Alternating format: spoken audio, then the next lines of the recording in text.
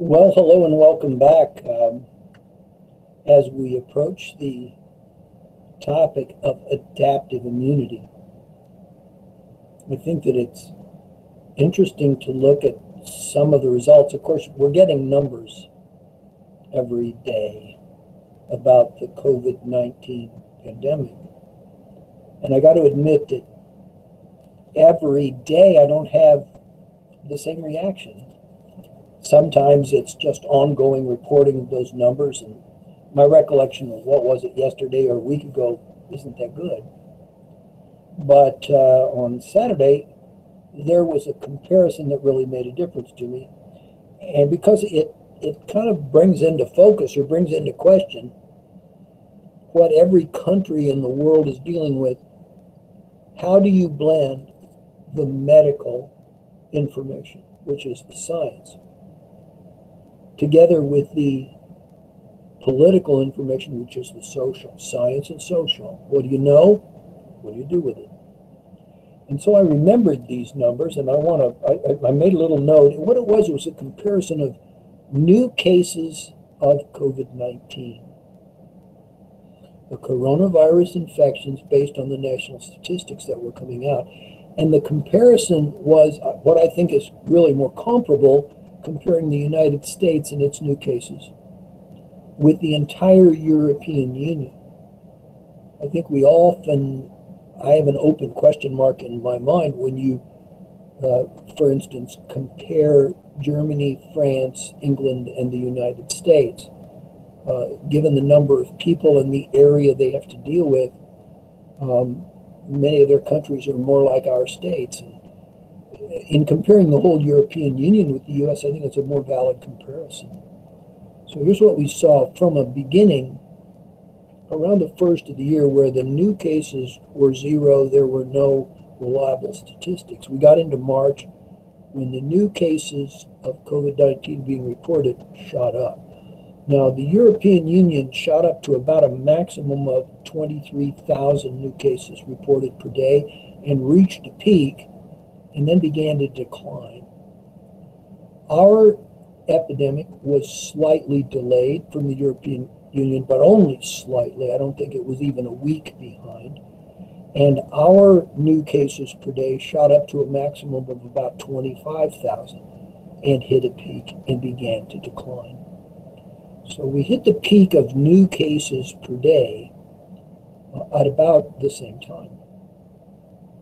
And I want to point out what new cases per day actually is. It's you want to manage the new cases per day well within the capacity of your medical community to provide medical treatment and healing for those new cases.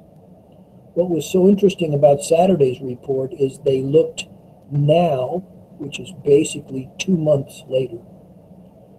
And whereas the European Union, from that peak of around 23, 24,000, its curve basically went way back down. And so now they're reporting what looked like to me on the graph about 4,000 new cases per day. So from the peak, it came dramatically down, and they're reporting 4,000 new cases day over the entire European Union.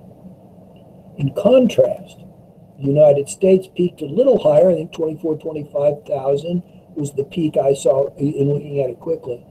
And though it's, it started down, it basically produced a flat curve across. So the variation for the last two months has been between a low of 20,000 new cases per day and a high of about 23, with a noticeable spike that developed maybe three weeks ago, went up and down, where the United States decided to open up and go back to uh, less limiting of contact and uh, basically a, a partial opening of the country. So it's kind of interesting to me social behavior, governmental regulation, medical advice all blended together in the European Union to reduce, substantially reduce their new cases per day. They basically are uh, reporting, I would say, between a, a fifth uh, and a fourth uh, the number of new cases per day in the European Union that they're reporting all across the United States.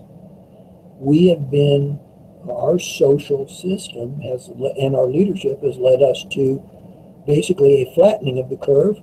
So we have enough doctors to deal with the number, but uh, we also are still just right now covering the um, the uh, new cases. So I think it's, it, very interesting this unique historical event that we're experiencing right now and seeing how different areas in the world are responding and what success and what failure uh, they're having. And that brings us to what we normally think of when we think of immunity, and that is adaptive or acquired immunity. We're born with our genes, which is what supplies our cells, our antibodies. We're born with a certain capacity to become immune. But it is the experience of our early life, especially, that sets that immunity. So at one time, certainly in my childhood, um, I remember when the first broad availability of polio vaccine was present. It was such a terrible disease and a crippler of children that the conquering of polio through vaccination was a medical miracle. But at that time, all children, myself and my four siblings, uh, to, to, to give an example, contracted and lived through measles, mumps, chickenpox, and what was called German measles at the time, and recovered with immunity intact. And that was adaptive immunity. Those childhood diseases were a part of child, childhood. Now we vaccinate against those to produce these specific immune responses. What we see here is sort of the basis, the interaction of a cell of the body uh, with a lymphocyte. And this has been, these have been tagged with different fluorescent dyes to identify them as different populations of cells in this magnification. This is involving an antigen that has been derived from the infectious pathogen. And that antigen has been presented on an infected cell uh, called an APC an antigen presenting cell. So it has identified that cell as infected. And that has attracted the red cell, which is a lymphocyte, which is attacking and destroying this cell. This is a system called the major histocompatibility complex. Uh, histocompatibility means tissue compatibility. And it is a way that we can reduce the effect of an infection and to limit its spread. Adaptive immunity has a number of kind of general properties, and we can discuss them. Every one of them will be subject to the genetic variation that I, I spoke about. So when we when we talk about specificity, the normal thing we think about is a single antibody. That would be an immunoglobulin uh, in terms of the proteins in the blood, and one pathogen, one particular attack or vector, one way that it uh, enters our body. Now, this is difficult to deal with because biologically, we've had this bias in our science. We understand things that are most like us, things that are diploid, things that reproduce sexually, the species and subspecies and variety naming that we do is pretty effective uh, for uh, sexual reproduction. But when you get to microorganisms, especially organisms have the ability to exchange genes so they can recombine their nuclei and uh, mix those genes into new combinations. At the same time, they can reproduce by vegetative means, just by dividing mitotically. Um, the species concept kind of breaks down. So it's hard to um, uh, say anything definitive about this, the taxonomy of these pathogens. Pathogen is anything that hurts you. So it can be a toxin. It can be a molecule like a virus. It can be a living cell like a bacteria, uh, a eukaryotic cell, and there are several diseases that are caused by microorganisms that are eukaryotic. Uh, it can be a um, fungus. Fungi produce a number of different disease conditions in humans. Um, it can be a member of the animal kingdom, uh, the parasites that occupy our body.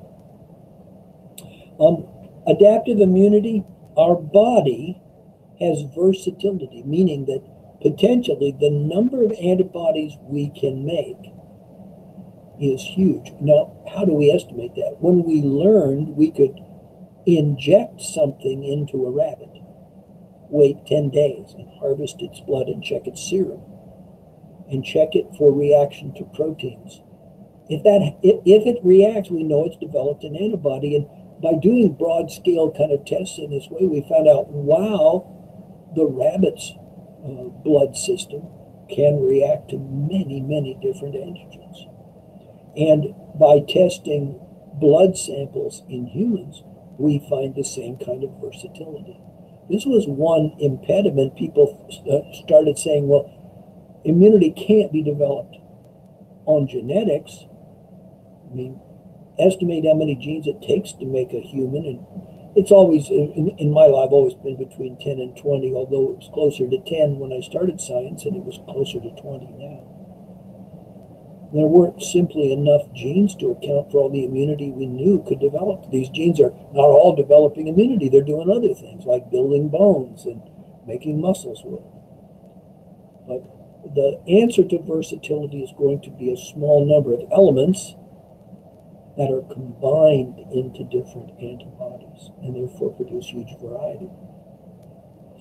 Um, memory is a, a topic for adaptive immunity. By that we mean the body experiences an infection for the first time when it is naive and susceptible to that infection. So the first infection, the pathogen begins to have disease effects in the body, reproduces in the body to the point where it's interfering with homeostasis and producing disease symptoms. We can tell that the individual is sick, or we can tell that their life is threatened. Um, however, if adaptive immunity responds, once you develop the antibody to that specific pathogen, then it not only eliminates the pathogen from the body, finds and attacks that pathogen while leaving the body cells intact and functioning, but it leaves behind an element that will intercept any reinfection. By that I mean, when I had measles, mumps, and chickenpox as a child in elementary school, I went back to that elementary school through seventh grade, and every year was reinfected by each of those diseases. But because I had this memory of a previous infection, it actually got on top of the infection and conquered it before I developed any uh, symptoms. So, what we typically say in common language is, well, I didn't get the disease. And it's true, you didn't reach disease conditions. However, you were reinfected routinely. That reinfection is something that supports and amplifies this memory.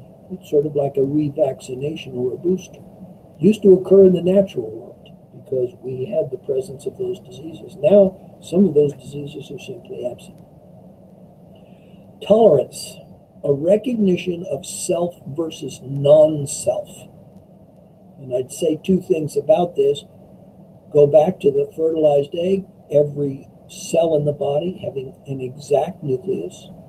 It's a copy of that is the recognition of the self cell. Anything that's that's a pathogen, any microorganism, and uh, any molecule like a virus, any um, uh, animal is going to be genetically very different and therefore identified as non self. But I would hasten to say a phenomenon of the last 50 years that's been well documented, and partly because we've been able to diagnose at such a fine level, is that our autoimmune responses are on the rise. This is where the body blurs this difference and begins attacking self cells in a way that is detrimental to the body. The importance of these mechanisms is that there is a, a sort of an extraction from the pathogen of a, of a molecular piece called the antigen. The antigen confirms the infection. So it is the reaction of the antibody with the antigen that keys the attack by a cell mediated process, a T cell, or causes um, um, B cells to develop from inactive form into plasma cells and crank out the specific antibody for release into the body's tissues. Another feature of adaptive immunity, I just mentioned it, that first infection, you get sick. So you get a case of the disease. And it takes a while to go through these initial steps of developing that first immune cell. By the time you get to this point in the primary infection, that immune cell is there, but there's only one of them. And it begins dividing rapidly, but while it's going from one cell to two to four to eight to 16 and on up to a viable titer in the blood, the uh, pathogen, which has already produced disease condition, is running rampant. So it's going from 1 billion to 2 billion to 4 billion to 6 billion. But this, uh, this um, effect, this imbalance is not long lived because the immune cell soon becomes numerous enough that it specifically destroys that uh, pathogen and leads you to a finale of being free of it. Now, the point about the primary response is that this can be long enough that that can be a serious case of the disease. But when you are reinfected, several of these immune cells have been left behind as memory cells. That means that for that secondary infection, instead of starting back here with a naive body, you are starting with a weapon that has been specifically developed against that pathogen. So the division of the immune cell is uh, is beginning just almost at the instant of infection, and they basically divide into a high titer and destroy the invading pathogen on the same scale. So you basically don't even you don't get the spots of measles or the swelling of mumps or the bumps of chickenpox. Um, when you are immune. These are adaptive defenses, meaning you're adapting to the conditions of your life. What does that mean? That means that in Missouri, growing up in, in uh, Jefferson County, you're going to be immune to the typical local diseases of Jefferson County. You're not going to be developing adaptive defenses to tropical diseases. If you grow, grow up in Colombia or in Puerto Rico, then a whole different suite of diseases are going to produce different defenses in your body. Uh, hence, our uh, reliance on immunization and our reliance on uh, medical awareness when we travel out of our ecological zones. There are two basic kinds of adaptive defenses. Cell mediated depends on T cells. T cells mean that the attack cell, the living cell, carries the antibody itself. So the living cell has to be there in order for it to have a, a, a destruction of antigens. This physical or chemical attack, there's a variety of ways it attacks, but the living cell has to be there. The attack cell is called the cytotoxic, the cell death uh, T cell. The antibody mediated immunity is sometimes called humoral immunity. Humors is a term for the collective uh, fluids of the body. And that's because activated B cells give rise to cells that are going to produce antibodies. These are called plasma cells. And they're going to crank out not armed T cells, not armed cells, but they're basically going to throw the weapon, the antibody, out into the fluids of the body, and it's going to attack the antigen wherever it's encountered. So let's take a look. We call these cells lymphocytes because of the adaptive immunity. T cells are made in bone, red bone marrow.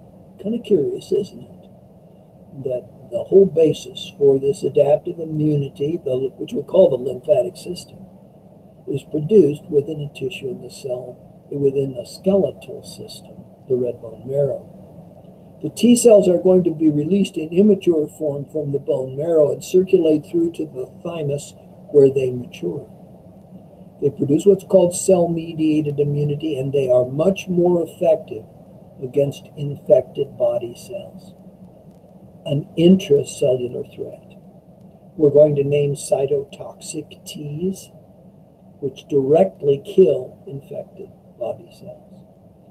Helper Ts, and not on this slide, but suppressor Ts, give us an ability to act with other elements of the immune system, including elements of the innate immune system. And the helper Ts amplify the immune response once the system is developed. The suppressor Ts would uh, have the opposite. They would suppress the immune response. So, like with homeostasis, there was a way to raise the body temperature, there was a way to lower it. Like with blood sugar, a way to raise it, a way to lower it. Helper Ts and suppressor Ts work in concert to keep you in that self recognition zone where you are not attacking your own healthy cells, but are attacking those infected cells. Finally, what's left behind after an episode of infection is called a memory cell. That's how we retain our immunity. A pre-constructed uh, uh, uh, antibody and cell that works against a specific pathogen. Now, B cells are made in red bone marrow, and they mature there and produce what's called humoral immunity.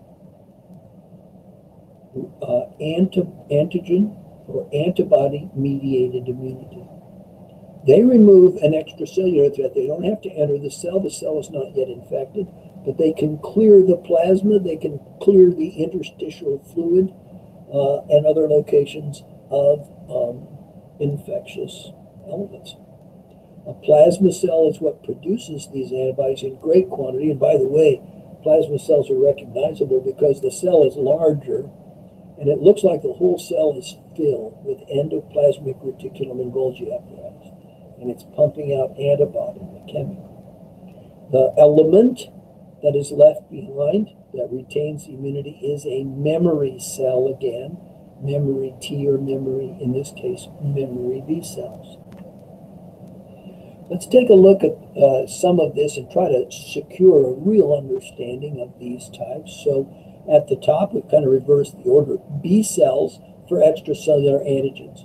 So out of the body's fluids, what removes most bacteria, most toxins, virus particles from the fluids of the body, it would be a B cell effect understand this toxin. You know, remember that when you have a toxin, it's because it's a chemical that has a bad effect on your metabolism. Bind it with something else, like an antibody, it's a different chemical. So its toxicity may be uh, very much reduced.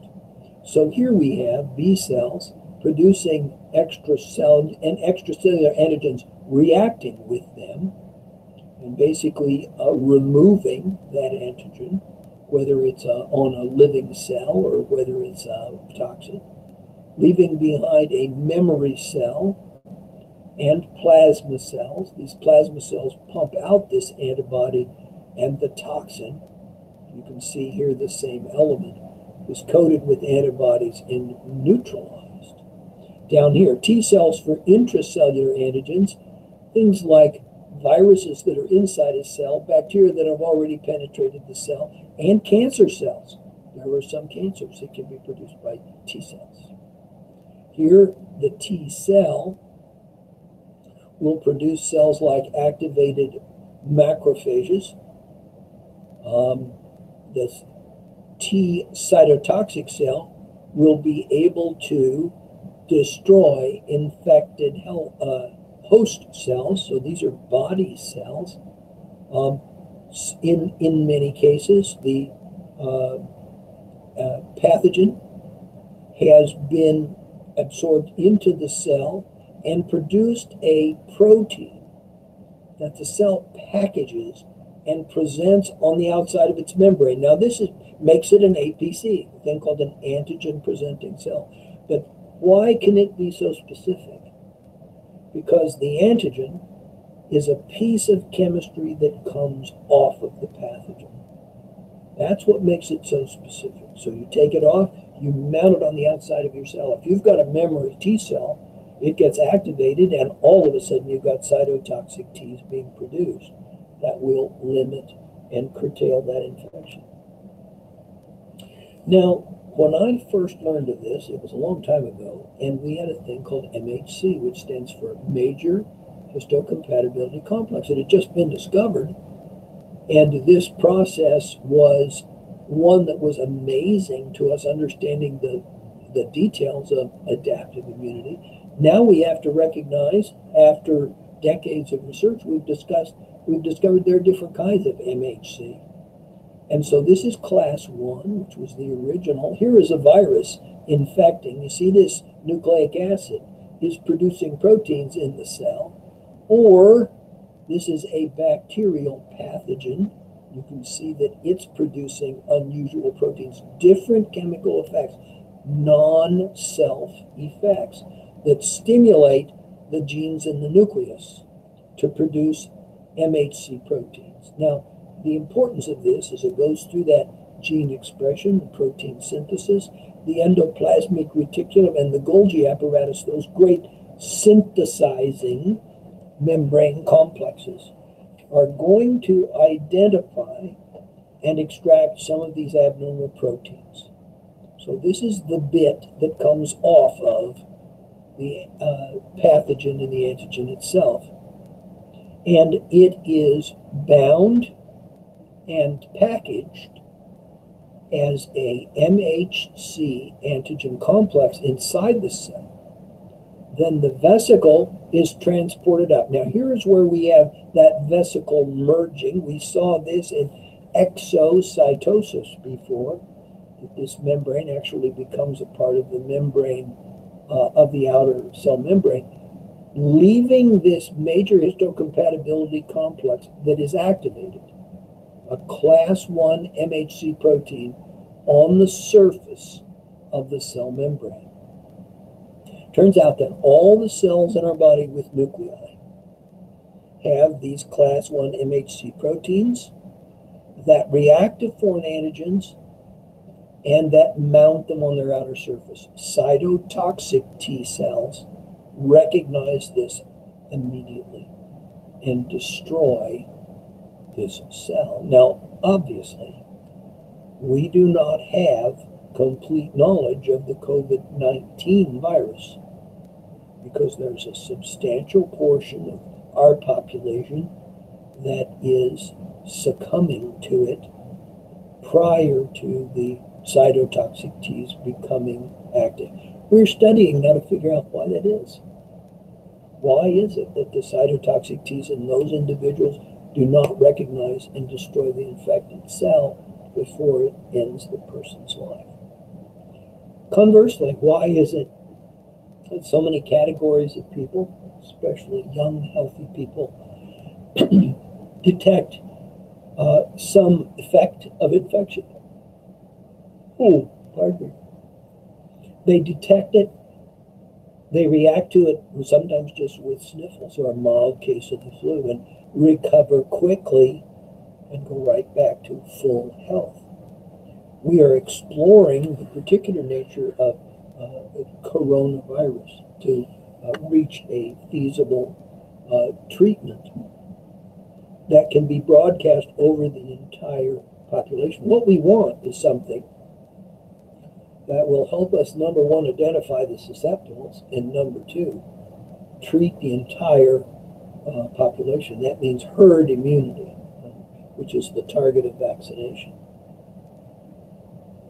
The processes for this involve here a virus infected cell and a cell called CD8. This is the inactive T cell.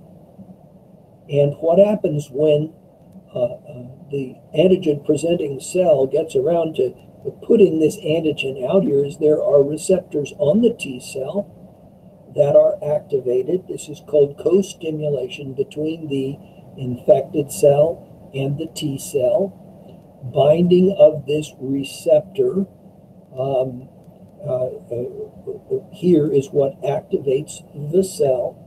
And from an inactive, I'm sorry, an inactive CD8, you produce antigen recognition to produce active T sub C. These are the cytotoxic Ts, and these are the memory Ts that will be left behind after the infection is cleared.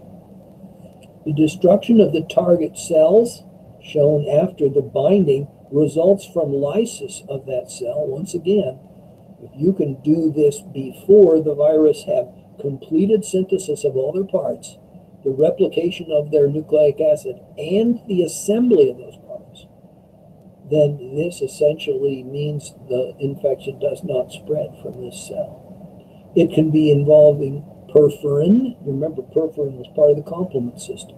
Cytokines, a result of uh, that appeared uh, in the stages of inflammation. Lymphotoxin, which can disrupt the cell's metabolism selectively. All of these work on the target cell, the infected cell. Now, a second system, uh, phagocyte, phagocytic antigen presenting cell, or APC, results from a complex we found called major histocompatibility complex 2. And they basically work in a different way by marking a pathogen. In this case, a bacteria that's marked with MHC2 protein is now sort of like taking away their concealment if it's not marked, this phagocyte may not recognize it. But if it is marked, then the phagocyte, the cytotoxic T, will attack it. In this case, the important uh, marking occurs as a result of helper T's, amplifying the immune response. So they will mark, they will produce proteins that mark the pathogen. The phagocyte eats it. There's the lysosome, the death and disassembly. And in this vesicle, we're now grabbing the antigen from those parts as parts and mounting it on the outside of the cell, now identifying a cell that is infected and targeting it for destruction. Now, this kind of compatibility complex does activate cytotoxic Ts. It also activates macrophages, and it causes B cells to form plasma cells and crank out antibodies. So this is one of those uh, histocompatibility complexes that reaches out to other elements of destroying pathogens and activates them all. Now, I, I would mention that um, uh, this particular uh, APC is involved in the HIV virus and AIDS complex. We find that the HIV virus has a, a particular effect on helper Ts. So you can be HIV positive as long as you have helper T, you maintain normal health. But if the HIV destroys your helper T cells, you lose this ability to amplify the immune response. And so the absence of helper Ts means that something that with normal medical treatment and diagnosis you would survive now becomes a lethal disease. So you don't you don't die of AIDS you die of pneumonia. Most people, if they're diagnosed, you know, they notice the symptoms of pneumonia and go in and they are admitted to a hospital, if they're treated in the hospital, most people recover. However, if they have an active case of AIDS, they typically decline and die without effect of, uh, without uh, the effects of the medical treatment. Now here we see similar mechanisms involving cells. Here's a T cell, a CD4 T cell, in this case, a different kind, that produces co-stimulation and activation.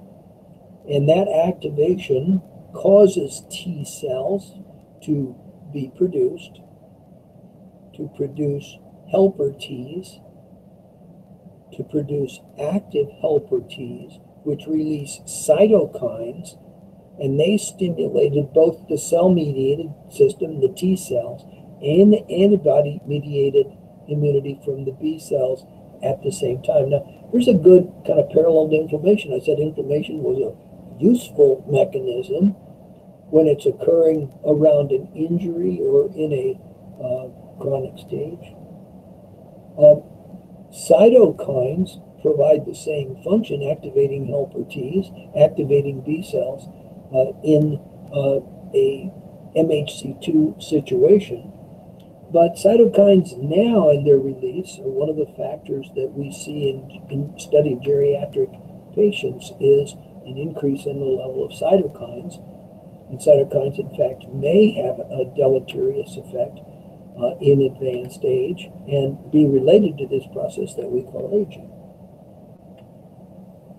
So we see two systems here, the CD8 for the uh, class 1 and the CD4 class 2 activating all of these T cells. And in the case where there are helper Ts, uh, basically to uh, stimulate other elements of the immune system.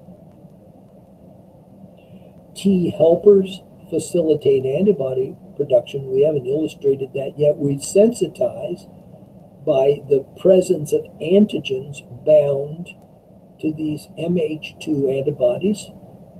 That stimulates this B cell to begin a cell differentiation process. So this is changed. Cytokines are released, and the whole appearance of these activated B cells changed. Here are the plasma cells. Here are the antibodies that they are producing. Notice that they are released from the plasma cell and they do not uh, need the cell in order to have the antibody antigen reaction.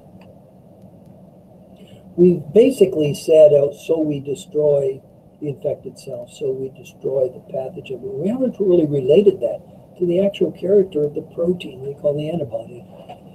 So the, the point of this single figure is to illustrate the different things that can happen when these antibodies, drawn as Y-shaped antibodies, react. Now, in this case, we're sort of illustrating the effect of B cells since the antibodies are reacting independently of, a, of the cell itself. But the same thing would apply if we're uh, we have a T cell that is uh, using antibodies uh, on its cell surface.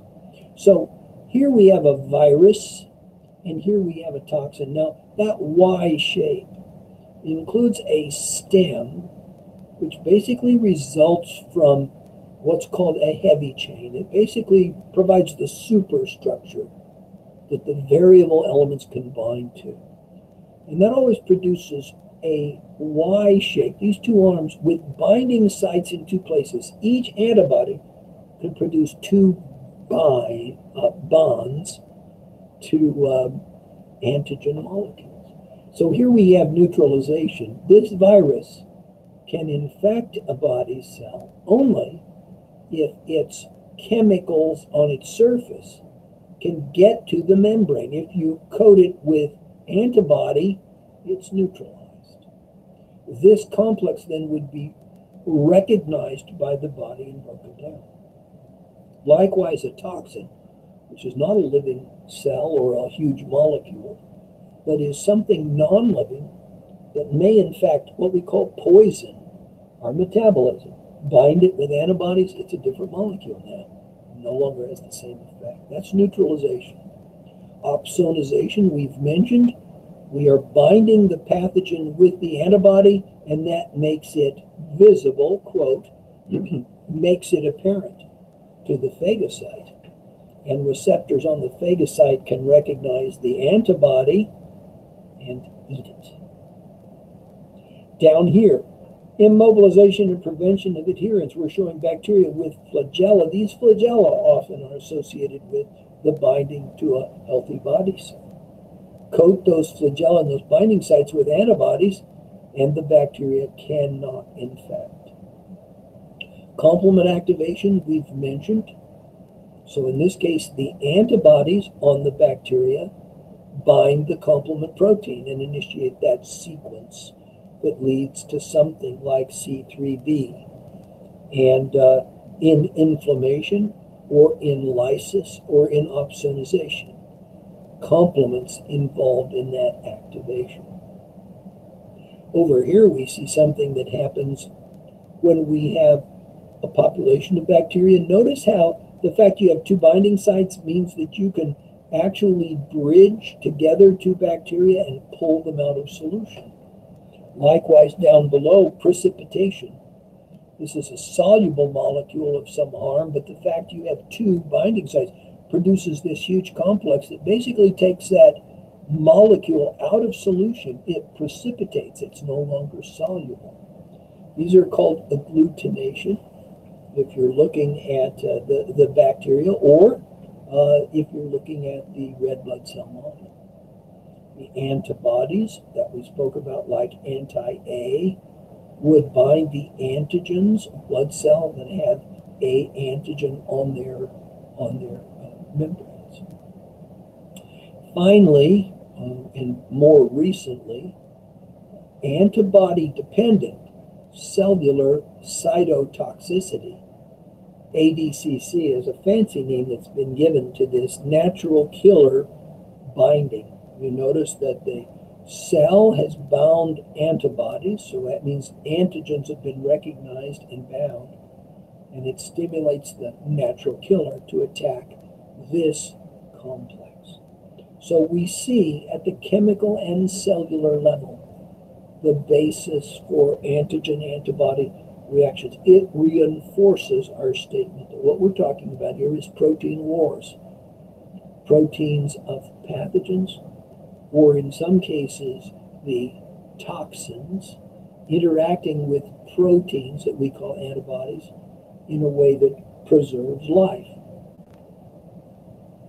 Let's take a look at an antibody because uh, I mentioned earlier that the number of uh, immune reactions that we can verified that we can count.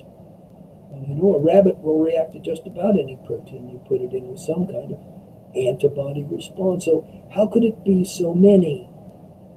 And the answer is a few genes and the combination. So, it isn't millions of genes, it is, in fact, hundreds of genes that are divided into different categories. The purple is a amino acid sequence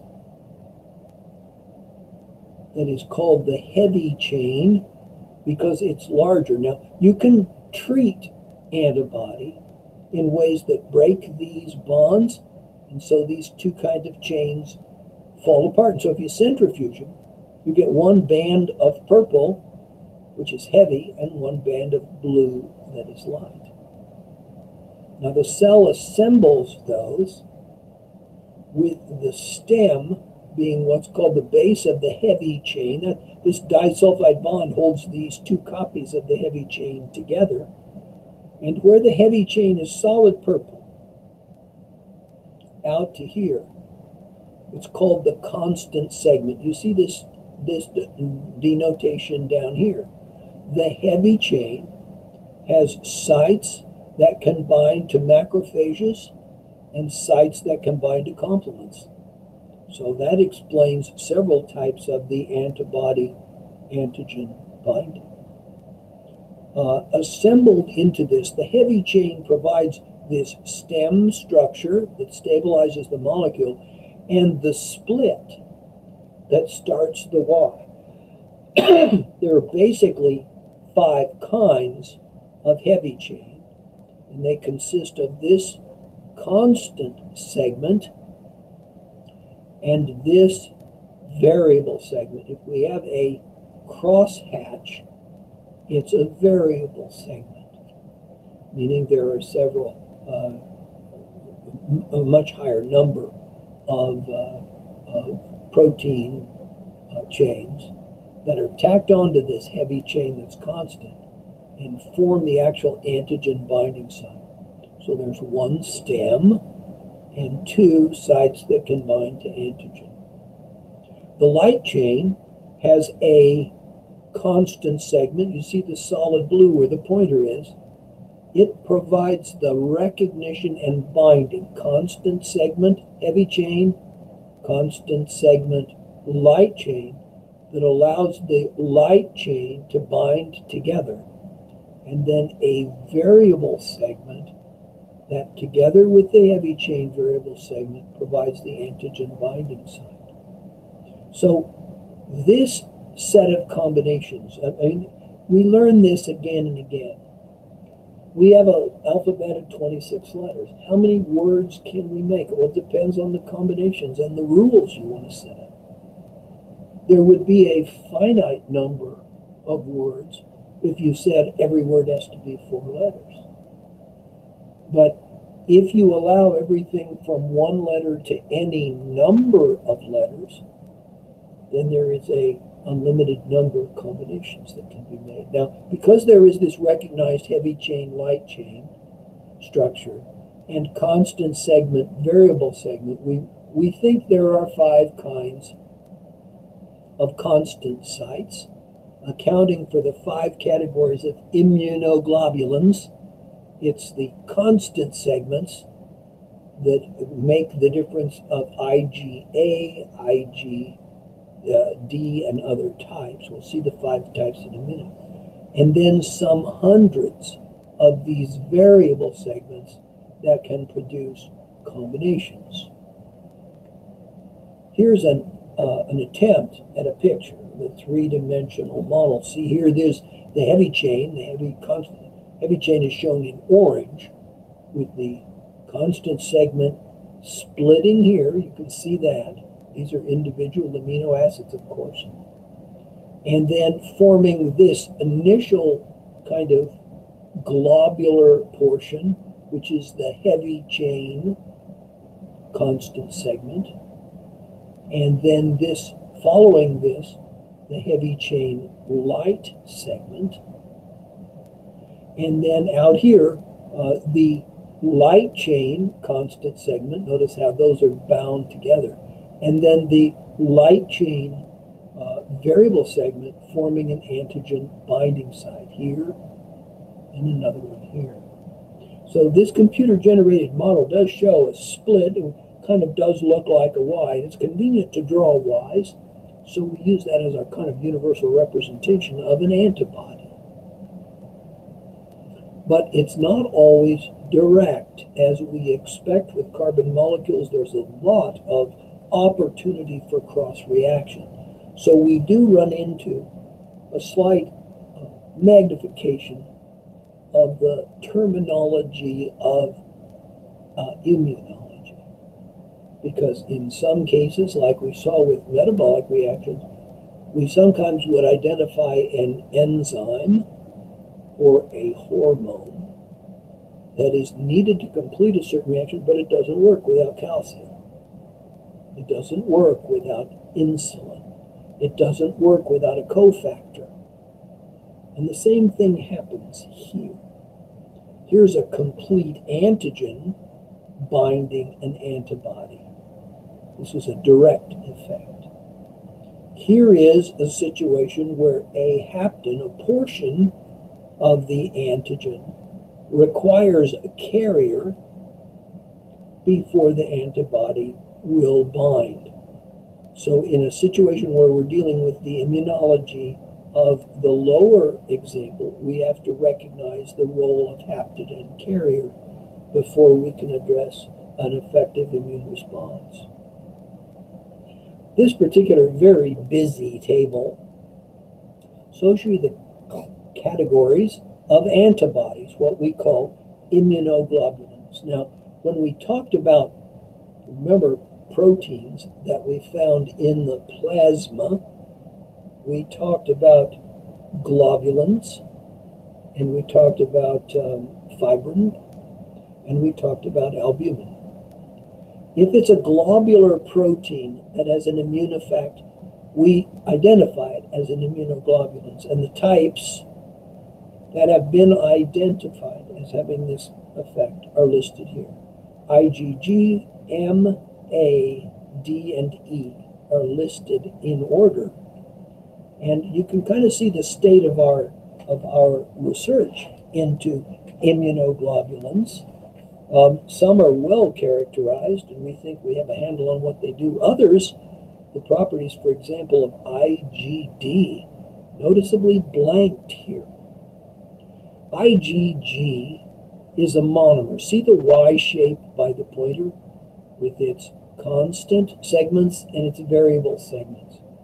That Y shape is distinguished, and sometimes the only way you can tell one monomer from another is by a slight variation in the molecular weight. 146,000 for IgG, but 184,000 for IgD, obviously more amino acids.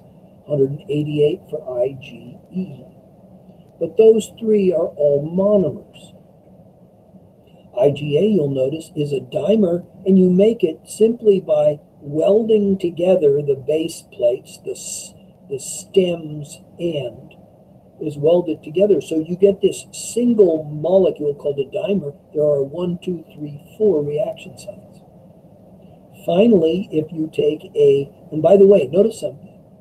IgA has a molecular weight of 160,000 in monomer form, and the secretions of our body have IgA in monomer form. But it can also form this dimer when you bind two together, uh, in addition, you have this kind of protein clasp here. The molecular weight goes to 390,000 and it's active in dimer form in other places. Let's take a quick look at each of these. Most of our immunoglobulins are uh, IgG. Form G is a monomer and its half-life in serum is 21 days. What does that mean? A half-life means that if you make 100 molecules in 21 days, you're going to have 50 of that cohort left. It's a way of kind of estimating a generation time. Its properties of IgG are to attach to phagocytes, uh, to work in complement fixation, and this is the one that can cross the placenta so the mother's IgG can go across to the baby in utero. It functions through any of the mechanisms, basically. Antibody-dependent complement uh, fixation, complement activation, opsonization, precipitation, agglutination, basically a who's who of mechanisms that are based on IgG. Um, IgM is a pentamer. Now notice there are 10 binding sites around the outside, but a specific complexing. So since this is 360 degrees, this would be 75 degree angles all around the union in the center of the base plate. 5 to 13 percent are IgM. They only last 10 days, uh, IgG works a lot longer. And complement fixation is, um, is a major property of it, working with those complement proteins. It's the first antibody that's produced actively during the primary immune response. Uh, and it's the only one produced in response to T independent antigen. So if T cells are not going to be affected in that pathogen, IgM is the only class of, uh, of um, immunoglobulins that's produced. IgA, monomer or dimer, 10 to 13 percent. So we can see that in this range, in the low end, we've already accounted for 95% in the first three categories. And the, the secretions secreted into saliva, milk, mucus, and other secretions, and the secretory form resists enzymatic degradation, so it is persistent. It's there to protect mucous membranes. So we talked about MALT as a secondary lymphoid tissue, mucus associated lymphoid tissue. And this is the primary immunoglobulin we see produced by, by that tissue. And it works by preventing attachment. Mucosal immunity means that in the presence of mucus and IgA means that pathogens cannot attack those cells. IgD, 184,000 Daltons, and a monomer less than 1%, only lives about three days. Its properties are unlisted, but we think it's involved with the development maturation of antibody response. Functions have not been clearly described. Now, what do we mean by that? When you start out as a newborn, you don't actually have an active immune system. It develops. And this IgD is involved in the development of that. It leads to a very interesting speculation. It may relate to our observation about the thymus, that the thymus was actively growing and, and metabolically active during childhood, and it sort of stops and becomes the site of T cell maturation as an adult. It's hard to tell what it's doing as an adult. There may be a critical period when we're newborn when our immune system is most active and our immunities are set by those initial infections. And it becomes less responsive, or um, maybe I'd better say more quiescent, in our adult life. Um, now, IgE, 188,000 of the last monomer, way, way down there. One in 10,000 immunoglobulins. It only lasts two days. But it does attach to mast cells and basophils. and when it's bound like that, um, it binds antigen, causes the cell to release granule contents. This is involved, IgE is involved in many of our allergic reactions. So, in a way, uh, I, I don't know, pollen, is it going to hurt us? um, allergic response, kind of an overreaction by the body. It functions in antibody dependent complement uh, fixation.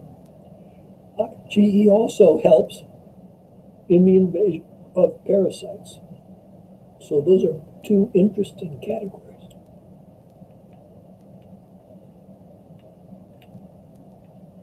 Primary and secondary response. Primary on the left shows an initial infection point. This is when the antigen and the pathogen enter the body. And we notice about a four or five day uh, lag before the IgM begins to be produced, and maybe a five day lag before IgG begins to be produced. Now, from this point, the curve for the um, the curve of, of reproduction for the uh, pathogen would be going like this if it's alive. So there's a delay in response. You don't really get a substantial production of IgG until five days into the infection. You're already sick. But the increase in concentration that goes up through the first week and uh, by the end of the second week um, will get on top of that infection since it's a specific response and eliminate the pathogen from the body. As the pathogen and its stimulation leaves the body, then the production of these two immunoglobulins declines. But notice it's not to zero. These are the memory cell components. So I guess what I would say is there's, for the first week of infection, there's very little response by the body. The pathogen's going wild.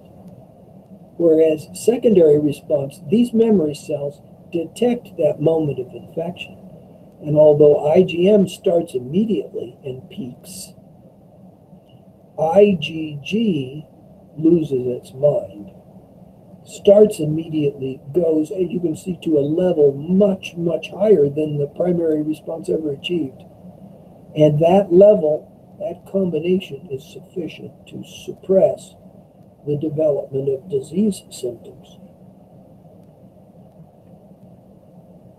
So, uh, we do have some uh, uh, unfortunate reactions by the immune system.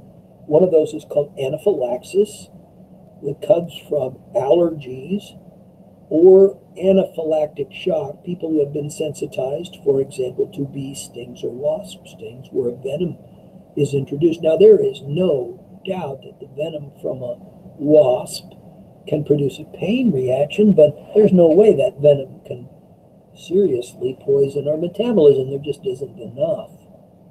However, the overreaction by the immune system, and especially activating uh, an inflammation reaction, can produce life threatening uh, experiences. So here's the first exposure where allergens, like in this case pollen, activate um, macrophages, activate helper T's to produce the sensitization, plasma cells produce antibodies. But you know, this first exposure, it eliminates the reaction and uh, it's a low enough level that it does not stimulate that inflammation response. A subsequent uh, reaction, though, finds that these allergens uh, uh, will affect mast cells to a great degree, IgE and granules. Notice the granules being released by this antigen antibody stimulation. And the histamines, leukotrienes, uh, heparins, uh, prostaglandins, other chemicals that cause pain and inflammation can in fact over stimulate that inflammation reaction. Where we are especially uh, vulnerable is where we act with airway constriction. So uh, the airway swelling and interfering with breathing, loss of consciousness, and death uh, can occur uh, by this subsequent exposure. And you can see it's parallel to um, uh, primary and secondary response uh, for a legitimate disease condition. But because it's something like uh, the venom of a single bee or the venom of a, um, or the uh, sting of a wasp or the presence of a, po- of a pollen grain or multiple pollen grains, uh, it's not really a life-threatening situation we can, you know, study the interaction of all of these elements, and we've named so many uh, active immune cells from the point of infection. Here are the neutrophils. Look at that. So for infection, the neutrophils come and peak, and they basically remain pretty high through the first uh, for the first few days, and then by the end of the first week, they're declining. Natural killers respond quickly, but they are up and down quickly. They're followed by the presence of the maturation of here are the macrophages peak. I'm sorry, macrophages are green. The cytotoxic T's, these are arriving and peaking around day six, day seven, and are followed by the longer maturation of the plasma cells, which is peaking at a week and a half. But now at this point, all of these substances, except for the natural killers, which have reduced to zero. They're sort of the emergency response team. And the entire army has arrived by about week one and is being effective. Now, if we look at the plasma cells, then peaking here, the antibody titer in the blood, not the T cells, but the antibodies from the B cells, are increasing and peaking about week three, ensuring the elimination of that antigen and the pathogen that uh, carries it. Um, this is a summary slide. I like these summary slides because if you go over the previous material, so here is class 1 activation, here is class 2 activation of those MHC proteins, what we called antigen presenting cells that produce our adaptive defense. The different categories are shown here, and I liked this because it made specific dotted line connections, not just the straight down effects, but the places where a particular cell could interact with another element of the immune system. Um, we can, in fact, uh, tie in with elements like uh, complement protein, natural killers, um, and uh, other other uh, elements of the system uh, in order to achieve this final destruction of the antigens. Um, acquiring our immunity actually in, involves a couple of different mechanisms. Adaptive immunity, well, first of all, innate immunity here, no prior exposure. You've got what you've got based on your genotype. You're loaded and ready to go when you come out here. But adaptive immunity, there are a couple of natural ways that we acquire adaptive immunity. Uh, and there are a couple of artificial ways. Active immunity means your body has the ability to produce the antibody. Now, it can be naturally acquired by having the disease. So this is the picture I have from my childhood of measles, mumps, and chickenpox. We had the disease.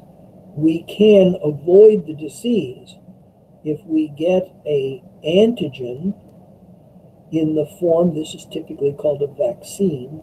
It is artificially induced, and our vaccines are developed with attention to the effects on the body and those effects uh, develop from uh, the presence of the antigen. Over here in active immunity, we are in our body producing the antibody. Passive means we get the antibody, but not the ability to produce it. So the first that's naturally acquired is that uh, immunoglobulin that can cross the placenta and be present in breast milk. This means that the newborn has a certain amount of received antibodies, but as soon as those antibodies themselves go away, when the mother uh, baby is separated at birth, the placental source is cut off, and when the uh, baby stops feeding, stops nursing, the breast milk. So naturally acquired passive goes away. Um, artificially induced passive is the administration of antibodies only. So instead of injecting an antigen like you would over here, you inject the antibody. And again, as soon as those specific antibodies wear out and go away, you lose the immunity. Immunization is a population issue.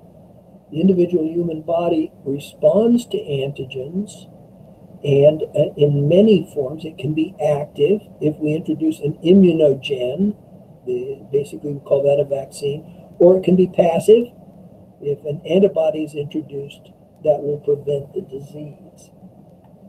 Attenuated vaccines, we basically take the pathogen apart and we find out what fragment can produce a long lasting immunity, that's the ideal, but not produce disease symptoms. Generally, attenuated vaccines produce some kind of reaction. MMRV is measles, mumps, rubella, and chickenpox. Inactivated vaccine, we kill the pathogen or parts of it. And uh, this is a weaker immunization. We usually have to booster it at, at certain uh, uh, intervals. It can be a whole killed agent or it can be just a part. We call that an epitope we basically judge based on the uh, immune reaction. Human papilloma, papillomavirus is uh, an inactivated vaccine. Recombinant DNA is the wave of the future where we take out an epitope and we insert that into a bacterial cell and have it make the protein we need. And we uh, will basically only then administer the protein. Uh, hepatitis B is recombinant DNA. For the future, we're going to have DNA vaccines where we're introducing the nucleic acid itself. Basically, by injecting that, the DNA of the epitope generates the immunity in the body. Uh, one of the one of the rubs of this is maybe there is a, a mechanism to cure a disease, but it's so expensive we cannot scale it, so we can't offer it worldwide. This is where edible vaccines come in. If we can introduce genes into crop plants, for example, and those proteins are produced, then they become epitopes, which can basically immunize, immun, immunize as a uh, basis of their uh, feeding. So we're basically feeding people the active uh, protein elements that will cause them to become immune. We're after herd immunity, where most of the population resists the spread. Um, this is something that we're really looking at actively. We get to the point people are resistant to having their children immunized in some cases because the whole population, as long as it's immune, there's no chance, little chance of that child getting the disease. However, as more and more people adopt that, then more and more susceptibles are out there, and we return to a susceptible uh, condition uh, as a result of uh, refusal of immunization. So that summarizes what we want to say about adaptive immunity, this acquired mechanism of immunizing a person.